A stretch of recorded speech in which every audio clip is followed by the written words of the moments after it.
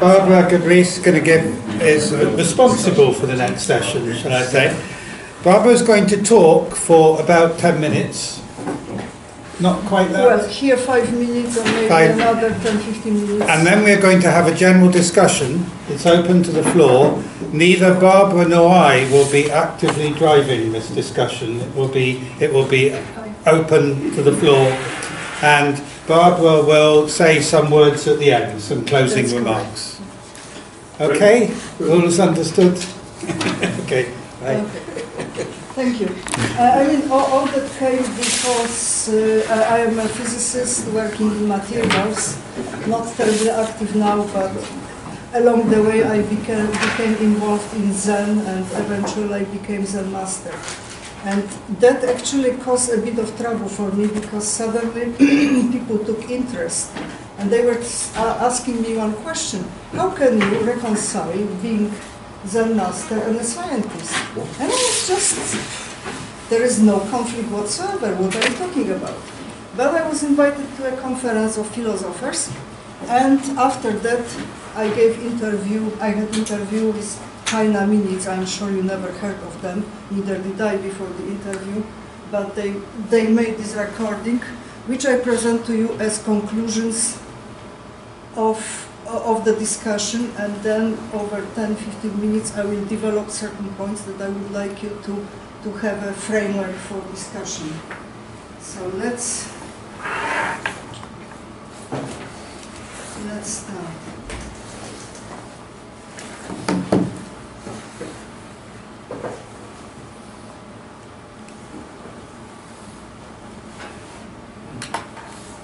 What are the apparent differences between the Zen way of life and scientific studies of nature? Well, I think to begin with, we are looking at a different way of looking at time and space.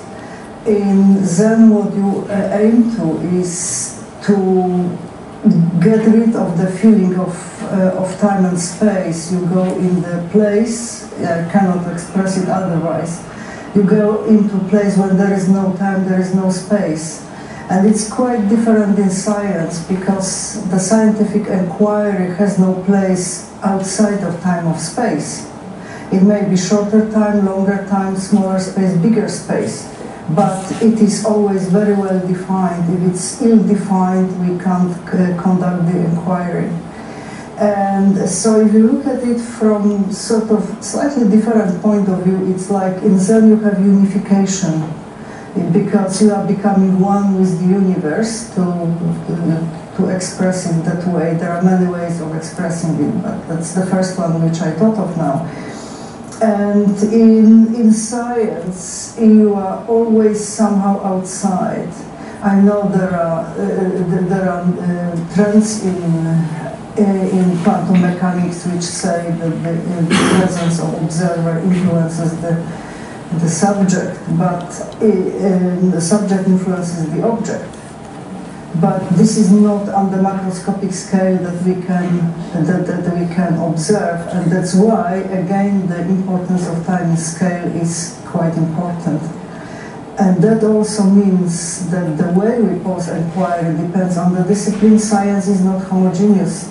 There are very many strands of inquiry. The questions that a biologist can ask himself or herself is very different from the that, a physicist would pose. So we have this big fragmentation. there is not such a thing as uh, the general theory of everything. That's a dream of uh, every scientist, but it's not possible, it's not feasible. What do they have in common? Uh, the, the, what I see they have in common is they have methodology of inquiry. Because Zen can be described as dialectic pragmatism with religious basis. So if we leave religious basis for a while, dialectic pragmatism is very important because it means critical approach.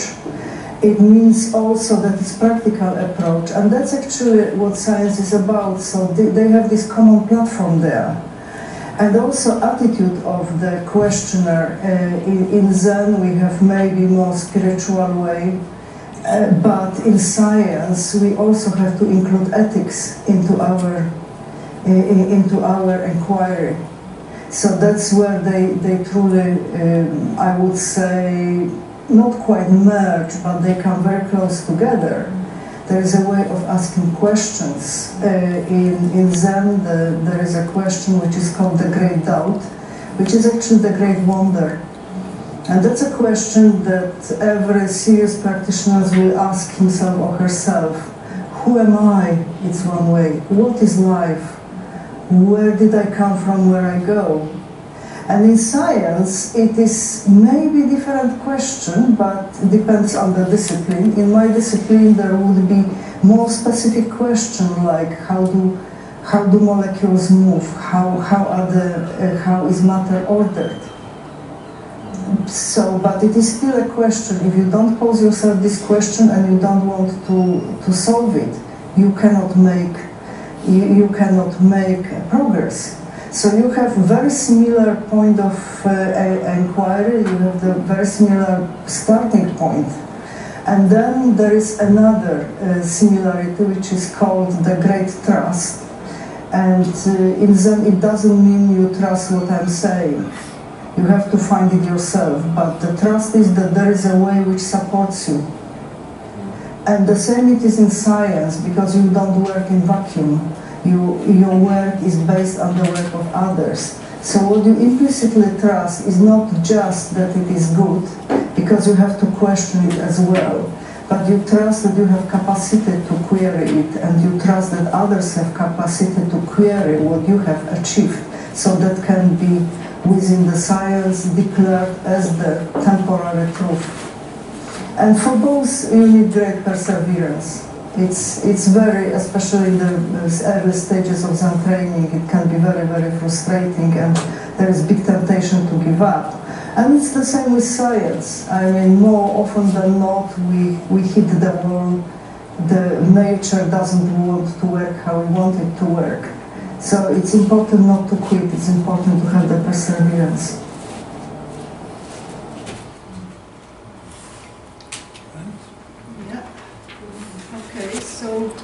Let me just try to get out of there. And just very briefly, very, very briefly go through several points so there is more to discuss. And actually uh, it's just a story. And that's my journey. Your journey might have been different. But uh, I believe that we all search for the truth, and it's not necessarily the religious truth, I want to say. And I was walking two different roads, and I had mountain paths and valleys and bushes and, and rivers, and name it, I had it. And they eventually became one. So, where we are. There is just the only place that Zen recognizes as the point of query. That's our Earth. Of course, it is in the universe, but we can only question something which is here and now. That's what I really liked about it, the, the, the, the, the instant, not speculation about the beginnings of the universe or whatever. And so, looking from the point of view uh, of classification, we can't truly put Zen into any box because it's not philosophy in the meaning of the Western word, neither it is religion in that meaning. I like the definition of Buddhism naturalized, which is definition of the Flanagan, and that means that this is Buddhism, but stripped of all magical uh, elements. So there is no karma, there is no supernatural beginnings. It's just the sort of down to earth ethics. And so that's how we search for reality. And if you look at the photograph, you can see that we don't always see the real branch. We can see its reflection, we can see its shadow, and only when we lift our eyes we get fuller picture. And maybe this is still not the complete picture.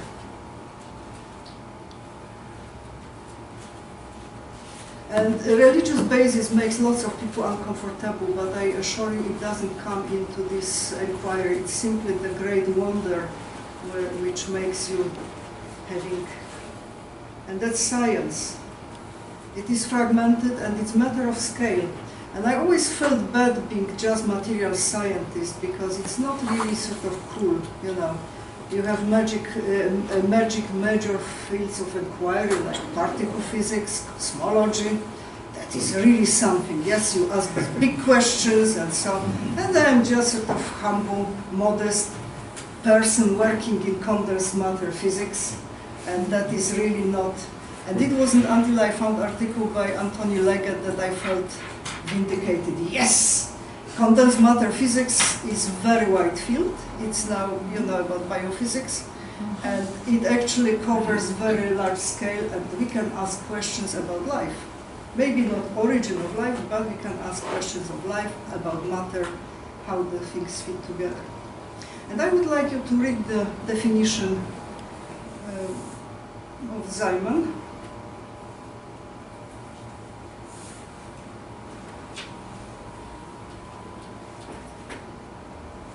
So, I mean, this is something which made me realize uh, it's a very good book actually. It's an old book, but uh, Ziman has has really thought about what science is about. Because if you try to if you try to make, I, I, I can I can give you this presentation, no problem. Uh, I was trying to think what the hell science is, and I couldn't find the answer. Nobody ever told me how how what is science and how you do it. And I really would like to, to throw this question to the audience later. Maybe you are better on that field than me. And the basis is methodology of inquiry. This is basis of my comparison. And I was looking for commonalities because obviously we all like to live comfortably. We don't like to have a conflict. I know scientists who are Christians and they have big conflict with their belief in God and what they observe. I'm very, I'm in very com uh, comfortable position because there is no personal God in Buddhism. So there is no question about, and, the, uh, and if you look at Buddhist cosmology, okay, the cosmos is there, it always was, and it is changing, and it always will be, so why bother? So that's really good. I'm, I'm making very sort of, very raging simplifications. I'm sure that, that you can understand that. But what do they have in common? Critical examination of facts. They have acceptance of the impermanence, but impermanence what it is of what? Of all phenomena. And this is becoming really interesting because we know from science, at least the science I've done, that everything changes. All the, uh, all the molecules are in constant motion. And somewhere I have in my brain that all molecules in our bodies change every seven years. That there is sort of blueprint which, which keeps me going. But there is also in, in Zen, there is no permanent self because it is always changing. It's all, always changing. And also the important point is non-reliance on scriptures. If you, if you, uh, if you talk to somebody um, we, we, don't have scriptures. Of course, there are sutras, but what does it mean? It means I cannot take the word for good. I have to experience things myself. And if I have students, they shouldn't believe what I'm telling them. They have to find their truth themselves, and I can only guide them. So that means non-reliance on, on scriptures. And if you think of decent science, it's pretty much the same because you've got to examine the facts critically, whether it is experimental or theoretical science, doesn't matter. You have to be critical and you have to be able, there is difference because here you have to be able, in science you have to be able to repeat experiment or theory. And so then we have three grades there, as, as I, I said there. So grade out of wonder, where do I come from? For me, it was what is beyond life and death, was my personal question. And I'm still, you know, you, you ask these questions all your life. You don't, you don't just stop because you graduated with a certificate. Great faith, and again, people misinterpret it. The faith is not in somebody's word. The faith is that I have capability, that I'm able to walk the way that others have walked that there are people supporting me, but I have to do it myself. I always talk about do it yourself Zen. So that's the faith in this sense. And great perseverance, I think it speaks for itself. And in science, in research, great doubt will be essential questions. In my case, it was how do molecules move, how, what is the structure. I, I've been working with polymeric substances. Now it is no no because those are plastics, but all right. It's nice to know how they are built. Great fight is in methods and uh, the way of inquiry. And I think implicitly we could throw here the, the faith in the scientific community. Normally we don't talk very much that science is not, that, that science is the, well, human enterprise. And, and if you know, don't know, I, I don't know your particular histories, but in my case, I've been working with somebody and we put quite a novel ideas and it was 10 to 15 years before they were accepted. And we are very highly criticized and that is very good. This is how the science works and that's how it should progress. So faith in methods but also criticism from, from the scientific community. You have to be able to prove uh, I can't say beyond doubt because everything is models and hypotheses, so what is the doubt there? Objectivity. Uh, I may have my favorite theory, for example, but I cannot say this is the only good one, right? And this is very hard because we all have our little, you know, favorite. Reproducibility, that's something which, which uh, makes a big difference with the uh, with spiritual practices because by their nature they are not reproducible and they, they cannot be shared. One of the masters, uh, Shin, uh, Shinryo Suzuki Roshi said once, "Oh, you cannot you cannot share with uh, somebody even a fart, let let alone the spiritual experience." So, and great perseverance. Okay, and that is somewhere where I would like to stop. Maybe just sum up what I said, and then we can switch off the machine, and I would like you to engage. So let me just sum up what we said. Zen avoids language, that's another difference. Science has many languages. I mean, if I listen to, to Lu's lecture, after five minutes, I'm probably completely lost if I listen to somebody's lecture who is who is in quantum mechanics, I will be lost very quickly. I have a bit more training there, but however. So we need to know the language, we have to speak the language. And so there are truly parallels rather than exact mapping between the two approaches. And actually, those of you who remember uh, 70s, there was this uh, book by Pirsig, Zen and the Art of Motor- Motorcycle Maintenance. And that's exactly what we actually do in science. We work on self as a scientist, and that's completely compatible with Zen practice, which has more of the psychological angle. And actually, it's, it's a sweeping statement, the last one, but it's possible to find the meaning of my existence and by extension of human existence through the combination of both approaches. And uh, that, that brings, I can't say it brings happiness. Uh, I mean, wh- what does happiness means? But that means that brings certain contentment. I'm doing fine, you know. Uh, I'm uh, where I am. I'm no longer there. It works itself. So that is all what I wanted to say for now. Okay. Yeah.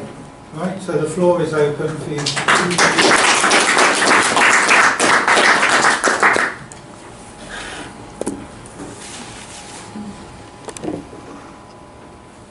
Yes. Uh, can, can, You like start, start yes, I will. The chairman is there. Yes, but I'm having a very light touch. Uh, if you have questions supposed to me, I be answer. Um, Freedom. All right, but it, it's a comment about science, uh, first. Um, It's interesting to me, uh, to look at, at the same questions you're talking about, about science in general, in the context of doing, uh, mathematics, where the criteria are a little different and yet very much the same because when, in doing uh, mathematical science, what is required for the agreement among colleagues is maybe a little more rarefied than it is in regular science with its experimental side. Uh, uh, The only commitment is, uh, I- uh, at least internally, it looks like the only commitment is clarity and rationality. But in fact, uh, the further commitment is to speaking those languages of logic and clarity and rationality that are common among us. So if one investigates in mathematics new languages having to do with expressing rationality or clarity, then, uh, then one might go a long way in, in, in a kind of isolation, uh, attempting to create a way of, of, of, of, of, of teaching others that language which one has come to believe uh, is a workable language, because one is actually in the, in the process of creating language. Yes. Well, physics is much more messy. Yes. So, I- I'd like to um, say a lot of things, but I think I'd like to start with um, trying to express and see whether there's agreement about what science actually is, because I thought that didn't come up in what you were saying. And um, it's something that I've noticed as well about having discussions also with other scientists. This is a point which people often argue with, so I'll just go for it. Speaking to a group of scientists who don't speak English as a first language and don't have an article, in other words, don't have words for the and an. One thing I came up um, against was saying, was explaining to people what the scientific method is. Now, there is only one, and the means there is only one. And first of all, it's quite difficult to explain that. And, and people, people disagree and say there's loads of scientific methods. There are hundreds of scientific methods. There isn't just one. There's my your scientific method is different. It's a matter of opinion. And this is bullshit. There is only one scientific method, and that method is that thing that has created the world that we live in today. The people in ancient Greece, the Aristotelians, were not stupider than we were. They're not different to us. They're just the same people. They were at a level of technology which was more advanced than in Leonardo da Vinci's time. And yet, 2,000 years later, the world had not really advanced and hadn't developed science because the scientific method had not been invented or used. And then it was. Somebody came along, we don't know who that person was, except it was almost certainly Leonardo da Vinci. And this person was ignorant. He was desperately uneducated. He didn't speak Latin well and he had no Greek. He wasn't part of the circle of scientists at the time and was not accepted.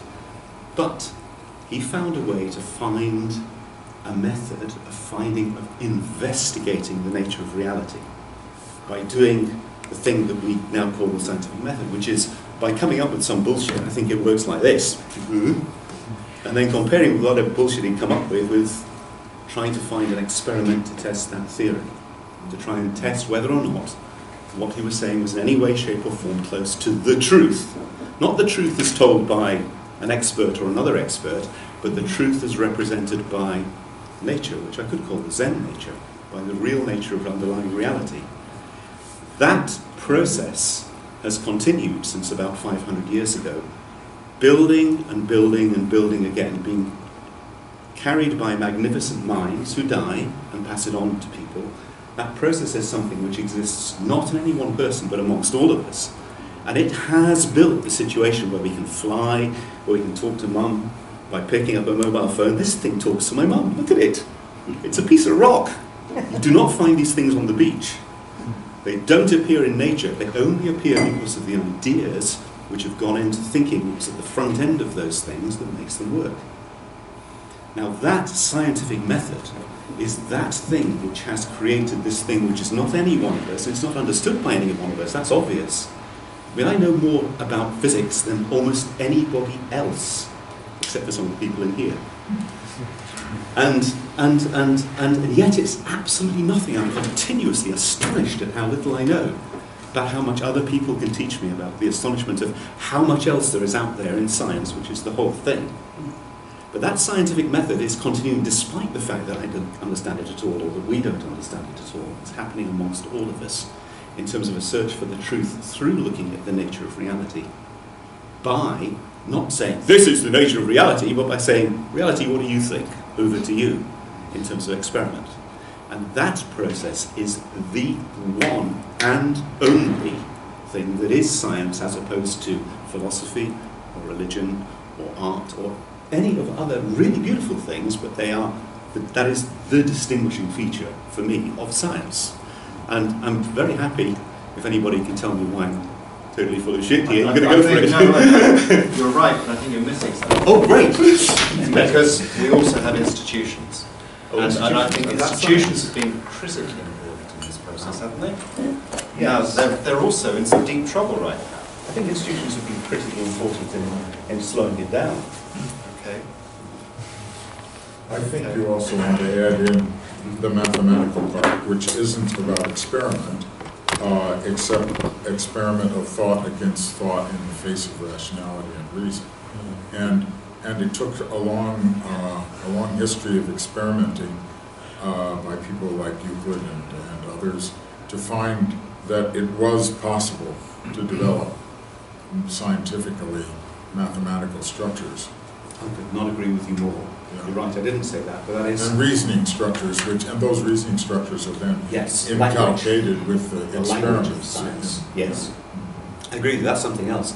We, we, absolutely.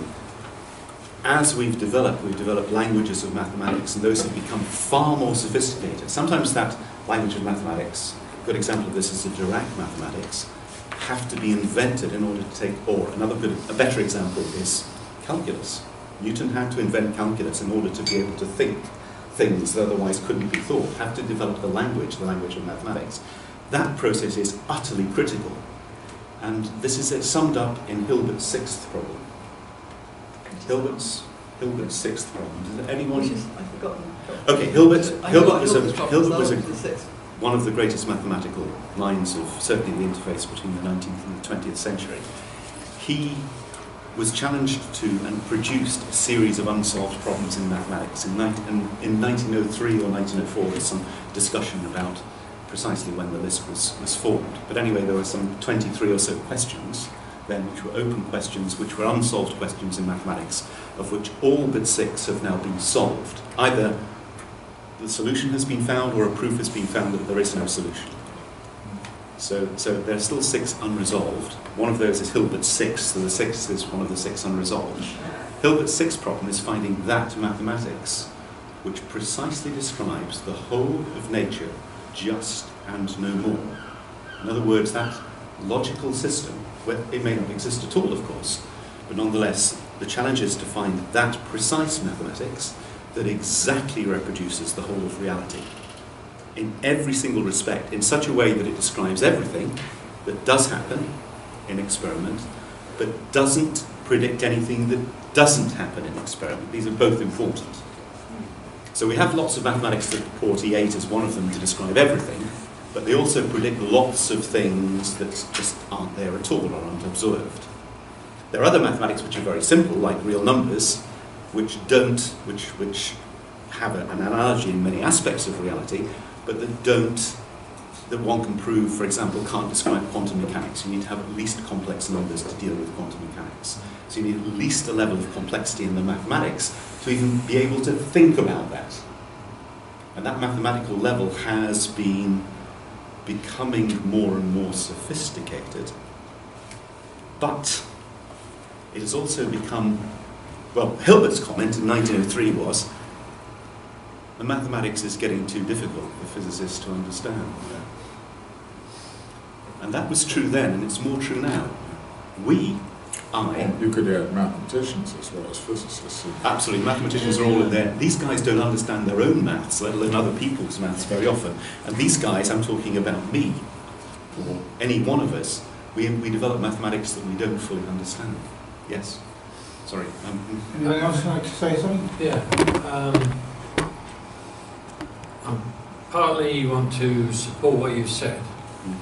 Uh, 1962, Kuhn produced his book, Mhm. Scientific, Structure of Scientific Revolutions, and in 50 years later, it was republished with a chapter at the front.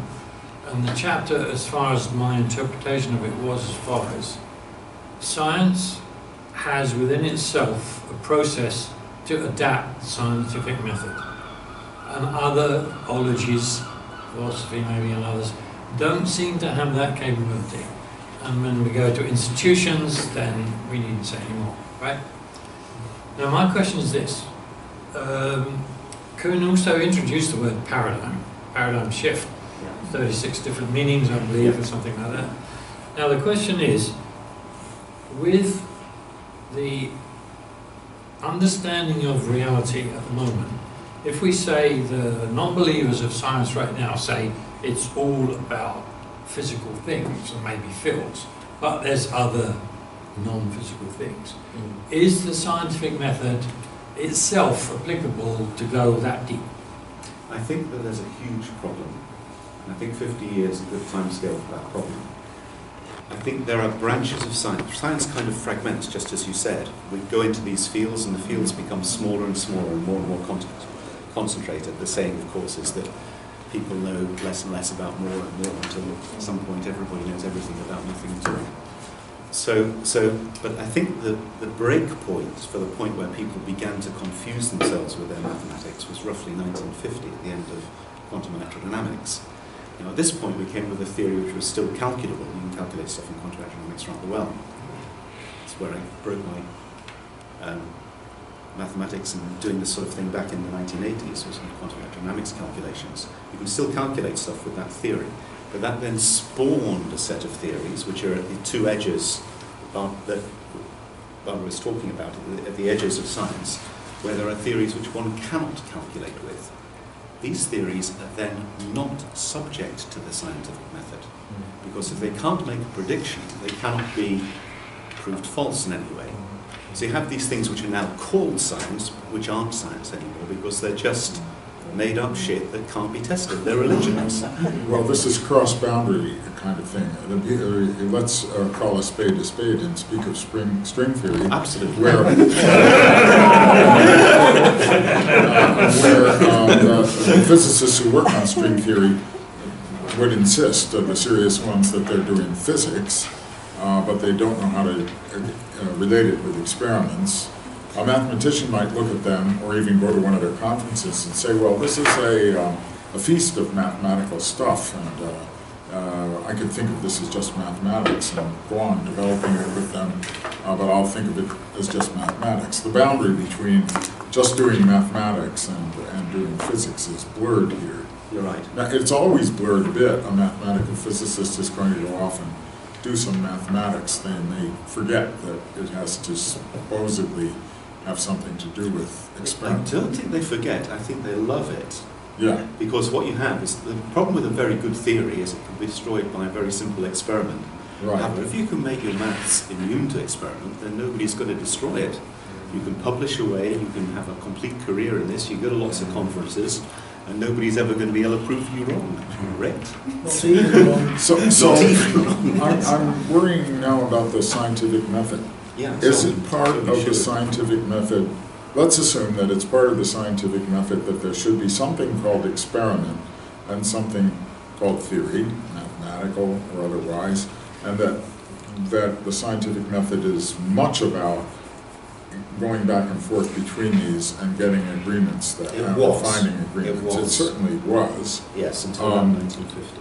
Does that assume, that doesn't have to assume that there is a world out beyond the practitioners who uh, are getting this agreement to happen uh, in any form of world other than world that they are creating or finding. For themselves, yes. But I think the original, uh, I, and then there I don't know about the epistemology, whether if you go back far enough, that notion that it's, uh, it's operational in the sense that I said, Mhm. where does it come in and where does it leave? At the moment, we, most people are, are thinking operationally. They aren't going to start declaiming that the world is such and such that we are objectively looking at. Yes, I think that's right. I mean, I think I think that the people are not going to claim that, and that would not be a right thing to complain uh, to, to, to proclaim. Um, it, but you may have an axiomatic view of how things work. However, imagine that you actually want to engineer something. You want to do something that's going to work. It's going to fly. It's going to produce some new new stuff which you, which humans are going to use, which is going to take human progress forward.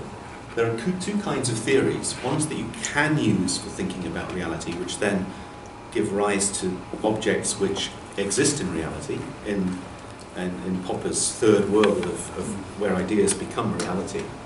Those kind of theories, you can listen quite quickly. They are such things as Newtonian mechanics, first of all, nearly always good, makes cars go, explosions, fire-powered vehicles, great things.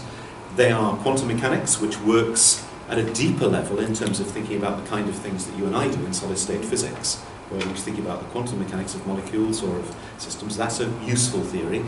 There is kind of at the limits of this also um, quantum electrodynamics, which can be useful in terms of laser systems or in terms of the quantum mechanics of emission absorption. These theories are useful theories which you can use to engineer things with. Then you have a whole bunch of useless theories for which there is no known application. This includes first and foremost string theory, but also Big Bang theory and and, and uh, quantum chromodynamics in, in high energy physics. It includes any non-perturbative theory. Now, what non, for those of you who are not technical here, you can, you can have theories which are, um, which are um, differential equations, which, are, which have equations of motion, like Newton's laws, or uh, Maxwell electromagnetism, which have equations which allow you to calculate what would happen. You can have theories which are perturbative. This is quantum electrodynamics. If you try and do the calculation from first principles, everything blows up. You have infinities. What you can do is renormalize that to bring you to a system where certain of the things where it's blowing up around, in quantum electrodynamics, those two things are the mass and charge of the elementary particles which emit and absorb photons. You can say, okay, well, okay, in the theory they're infinite. What we'll do is we'll calculate to some order. The infinity is not infinity, it's 10 to the, nine, 10 to the power of 96. So what we'll then do is we'll divide all our numbers by 10 to the minus 10 power of 96, and then we'll get the right answer. And you get the right answer for those two things, you get the right answer for everything else. These are perturbative theories, so you can still calculate them. But then you have non-perturbative theories, which includes any kind of gravitational stuff um, in the limit. So black holes, for example, non-perturbative, or uh, includes all the string theories, every single damn one of them. Can't calculate a damn thing with any of them. Uh, quantum chromodynamics, same thing. Um, the conferences, the theoretical conferences you get for these things, they say, oh, uh, CERN's coming up, we're going to do some new measurements. We've predicted the stuff is going to be around 10 to the minus 42. But it could easily be 10 to the minus 46 or 10 to the, 10 to the plus 25, with these huge range. How are we going to explain whatever they come up with? And then they come up with, they say, and they say, yes, okay, well, the gauge shouldn't make any difference because you have gauge invariance, but actually it does. But we won't tell the experimentalists this. But in this scenario, we'll do this, in this scenario, we'll do that, and then they're ready when the new results come out to say what the theory was they all thought of in the beginning, despite the fact they actually had a very, very wide range of possible things they could have done. This is what they do behind closed doors, because quantum chromodynamics can fit a spastic hamburger. You draw them a picture, they'll fit it. It's got 50 free parameters. This is, this Any, is, anyone else? Yes. Um, I, I was just uh, curious about this relationship of the sciences and mathematics and, and thinking about logic and reasoning and uh, and the word inquiry that, that you use. Um, and of course, uh, you know, something lit up in my head when I read, when I saw the word inquiry, just thinking about David Hume and inquiries concerning human understanding and um, and how, you know, even Spencer Brown, for instance, the way he writes out the proofs, and of course we might have seen demonstrations of the of modus ponens. Uh, when he's writing out the proofs, he's still using a form of reasoning that's very much like modus ponens. That you know we talk in the same way, and this whole notion of proof Yeah. is somehow uh, in language or it's somehow an empirical thing that that this sort of uh, logic that's employed, and I feel like there's a shared sort of ancestry with regards to mathematics, uh, mathematical method and uh, and scientific method with regards to the assumptions of causality or just like you know um, a, a kind of relative of this modus ponens that we're we often use when we're trying to prove or point at something that's saying, yeah, this is what I saw. And um, so that was something that I was thinking about. Um, and also in the same work, uh, Hume's, uh, he talks about miracles, and I know that we're talking about real and, uh, we, and magic is not part of that, or illusion is not part of it. And, um, but somehow there's something uh, and, and of course, maybe that's a more focused topic of discussion to draw parallels. Uh, but uh, I'm wondering if you know uh, dreams and you know uh, and some sometimes illusions that they are there is a I don't know I don't know how many people in this room think of psychology as even a form of you know inquiry of some kind, but there is a, a uh, I mean, there's something to be said there about uh, you know the the sense of wonder at least that that we were talking about in the connection. Yes, Okay. Yeah. So um, yes, um, quite a lot really. Uh, hey, so yeah, to, to to follow on from you, and and also bring up this. It was a question that, that you put, Barbara, um, in terms of uh, internal science, or yeah, so science of the mind, science um, that sort of yeah, what is our what what is our knowing, or what what what can be our our spiritual knowing, if you like. What, um, this is, I mean, interestingly, this is something that obviously was that this, I mean, the Renaissance, the end of the Middle Ages, the Renaissance, was a huge change and there were lots of things, as you say, that with the so that and, and as with any change, usually there are lots of good things that come in, and then there are lots of not so good things, and there are things that needed to be left behind, and things that were a bit of like babies that were thrown out with the bathwater.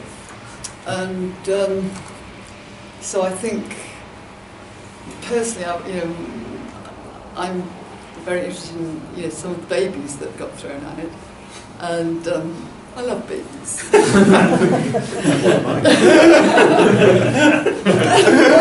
that says it all. um, anyway, so um, just the, I mean, the, just the latest. Uh, there's been lots of things that have been coming up in the conversation. That's well, what about this? What about this? Um, the latest would be in terms of causality and thinking about teleology. So interestingly. Um, someone was mentioning Aristotle uh, at some point, um, going back to Aristotle's physics. Yeah. Um, and people having looked at that, and, and also going back to obviously, yeah, the whole thing about, and oh no, was it you were talking about as well about the ancient Greek mm-hmm. technologies. Um, teleology, oh yes, so is to do with the goal. So that that was part of that way of thinking, so that we it's you know we can think in terms of causality. You know, which basically causality is a way of thinking about time in terms of what pushes us, and teleology is thinking in terms of time and what pulls us. And you know, um, for example, you know, St Paul's Cathedral wouldn't have been um, created if it wasn't just pushed up that there had to be an idea that then pulled that together. And this, I mean, this relates in a way also to what, you know, Peter was talking about intuition.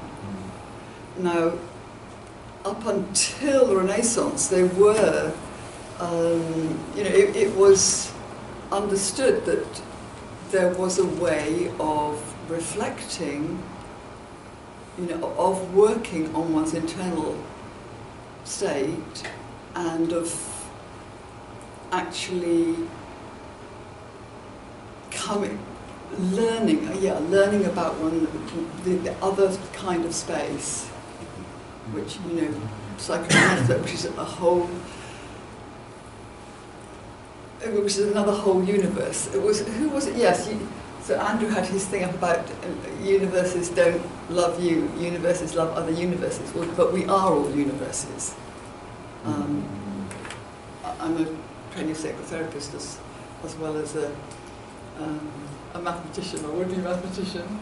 And uh, and you know, you you you know, uh, uh, there are you know these billions of cells, and they are all intelligent, and so you know, bodies are are universes, you know, amazingly intelligent universes. Um, so to kind of like just to, to kind of complete on this particular area, um, it, there were people, so Roger Bacon, I think, it's very interesting, got two Bacons, Roger Bacon and Francis Bacon. And Roger Bacon was very concerned with, you know, how do we actually research this, these other worlds, spiritual worlds, mm-hmm. and to be able, and also to be able to communicate, because I think, so we now have objectivity, mm-hmm. but I think we, it was actually, I went to a lovely talk by the guy, catastrophe theory guy, René Thom, where he was talking about intersubjectivity. Mm-hmm. And really, in a way, I mean, mathematics is, is you know, it- it's almost, it's like, it's like a paradigm for intersubjectivity. Because, as you say, we, you know, as Lou was saying, you know, there are certain languages, you know, within mathematics, and of course mathematics is so huge, there's so many languages now that, you know, one speaking with, you know, from one math- mathematical area to another, you, you know, you get conferences where you know, like, uh, there's only like 30 people in the world who understand a certain area of mathematics. And, but it's this also this thing of create, to bring a new language, you need then, a language is of, of essence communal. I mean, when you have your private language, that, that is then, you know, well, as I would put it, between oneself and God, you know, so universe, cosmos, whatever, um, the great oneness of which we're part. And uh, so I, and I think, and I think, so I think there's been a, there's been a problem for science in terms of not recognizing this, the, the possibility of this other world. And I think that's also a problem because you were mentioning ethics, and that, and I think this, the thing is that there's been very, very little ethics, in mm-hmm. fact, in science, mm-hmm. and in mathematics it, it hasn't been recognised. I mean, it's only recently there have been sort of groups of people who start saying, how is our mathematics being used? You know, um, what can we do about this? There's a guy up in Edinburgh who's, who's started a small, very young, And there is the question of the use of algorithms. Well, I mean, it yeah. is very serious, but Yeah, yeah, are yeah. ignoring it. Oh, that's right. It, I mean, it is now, but I mean, I mean, but this is this is this is now this is now it is coming in now. I think you see, I think we are at a very um, you know key time. Obviously, you know, whole things about climate change, etc., etc. And I think you know, and, you know, Peter Marsfield, I think, is going to be talking about this to some extent. And you you were kind of being apologetic about using pla- um, about plastic, looking plastic, but I think it, it just I mean with plastic it's a question of how is it used. You know, I've got a, there's a, a lovely friend of mine who's big into recycling stuff like that, and he was saying, you know, humanity at last found something that was totally indestructible, and what do they do? They make things and throw them away. Sydney would like to. Yeah. Yeah, um, can I just, I would like to say that a lot of this information is, this whole thing conference seems to center around an epistemological question. How do we know what we know? What is the source of our knowledge? Um, I can see a dualism here. One, we've got procedural knowledge, science is very good at answering how, and then we've got causal knowledge, which is answering why. And his, given that whatever the history of why procedural or logical, I'm associating procedural with logical empiricism just for, the, for argument's sake, why that's, it's, we're in an age where it's very successful and it's matured and, and, and become very um, predominant in the conversation. So my question is, Peter's, Peter's theory can tell us how it happened, but it still can't tell us why. What kind of an answer do you want? I just want to know. I just want to Give you, give know. you an answer. Why not? Well, you know, I mean, let's take a wide question. Why, why does this fall to the ground when I let it go? And then you have some nice answer about uh, Newton's law of gravity. And then you follow it with another why question, why is Newton's law of gravity present? And now you're beginning to go into the quandary, right? And, but you will sooner or later, it seems, go into a quandary because there can't be an endless uh, direction in such questions. Why not? The universe is endless. Yeah, and if you, Uh, yeah, my Uh, kids. yeah, Something self-referential or circular will occur. Uh, It's important, but, but we don't understand it very well. But, but the question is a very good question. Yeah, oh, the why is an mm-hmm. important question. And But it seems like science is very good at answering procedural information, how it happens. But I ask Peter all the time, why does this structure exist? What's the point? He can't tell me. Mm-hmm. He's very good at describing the syntax of it, but he can't tell me why this universe. Well, you answered, you But answered many quite a people lot will have their why. own, I'm sorry. Oh, pardon me. It might be multi multi-pluralism, everybody has their own So- personal so, uh, trajectory. I mean, it's interesting how different people have a, a, a plate, a, a bottom line, right? Like, if you asked a laws of form addict, uh, line, well, what, what, what happens? They would say, well, distinctions are happening. People are creating distinctions, or they're imagining that they're creating distinctions. So, And Mark, then you would ask, say why? something. Mhm. That's what I would ask, is why, Why, One why? Why? person might say to you, well, Well, you if cannot there, make a if there distinction weren't without any, having you a wouldn't be able to observe anything. Interesting. And if, if you do observe something, then there would be a distinction. But you're, you found yourself off in the logical corner then. What is interesting. If there is was, if there was nothing, there would be no observer and there would be nothing to see. how do we know where there isn't anything? We- We were talking about nothing, but how do we know that? I'm- I'm just illustrating how, how the why question is really something you want, uh, usually you want, you get a, you feel best about it when you're in the middle.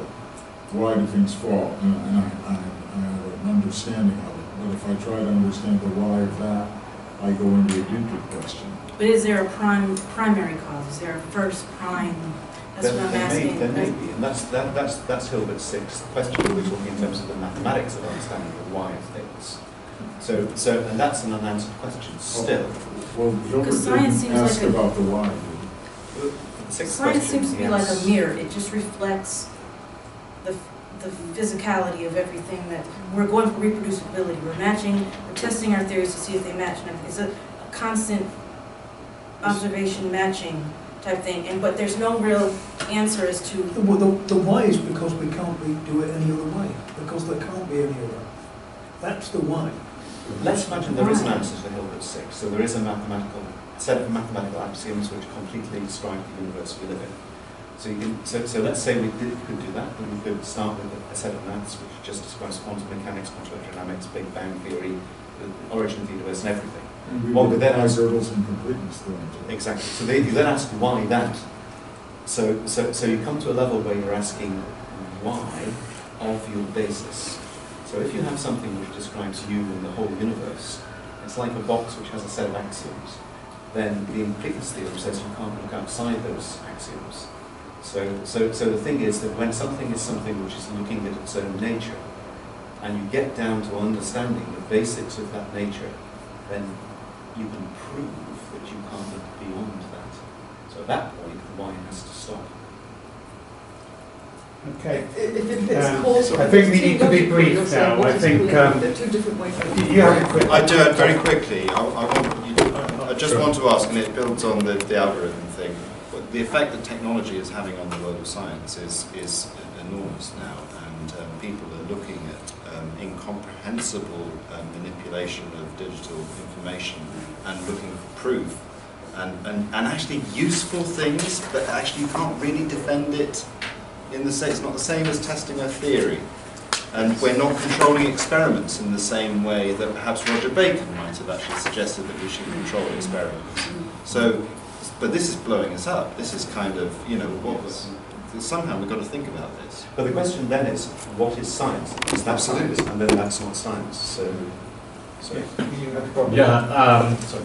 Well, going back to Mark's first comment about there's institution here, institutions here, and uh, presumably there's overall societal investment with an expectation of return on investment in various ways.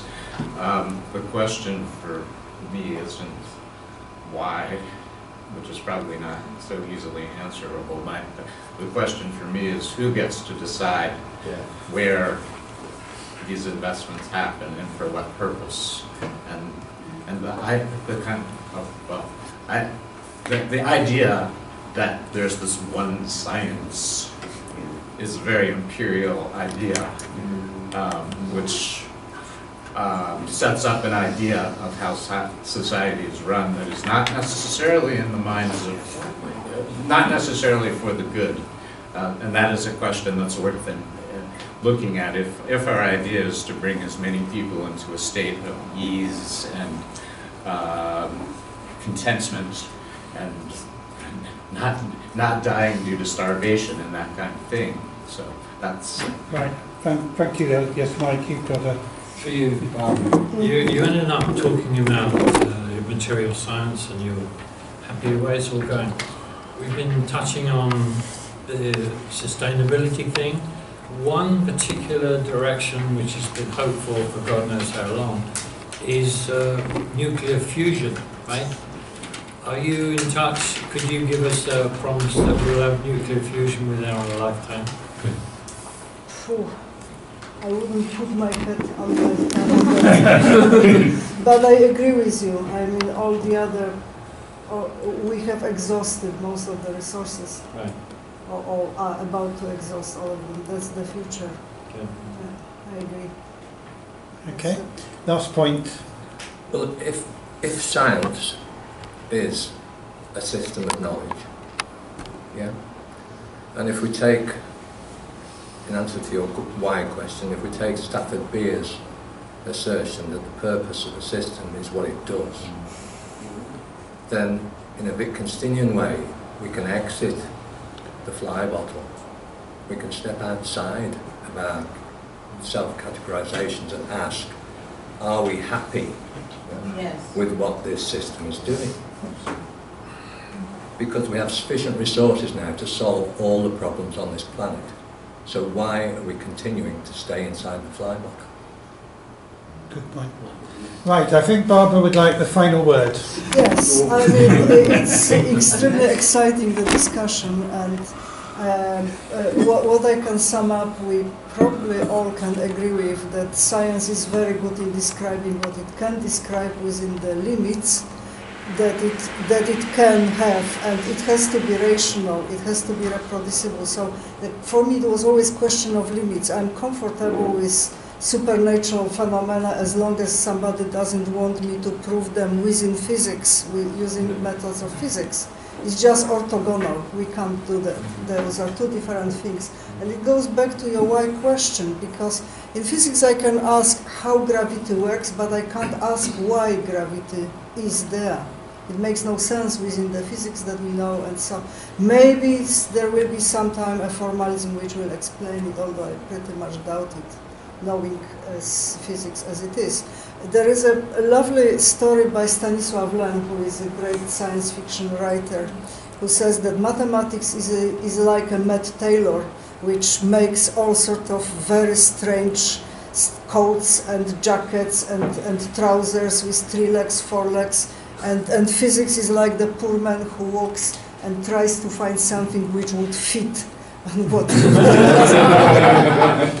and I'm happy to talk uh, to talk more, but uh, but it's just in this sense we have no conflict between be, between spiritual life and uh, and and sort of scientific life because we just can't, you know, it's orthogonal, but it, it can be in the same space. So that's the that was the conclusion I came to, and that's what made me feel comfortable and contented because I'm not trying to move one method which works well in, in one domain to, to the other. Uh, thanks very much, Barbara, for your very interesting session. Uh, obviously, continue chatting afterwards, but this is the end of the end of the formal session.